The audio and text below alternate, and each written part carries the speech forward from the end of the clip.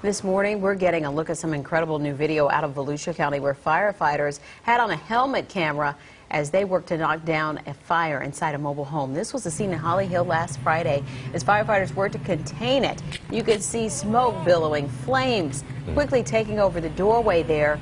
And when they opened the door, they got an unexpected surprise, some sort of pop that pushed them backward.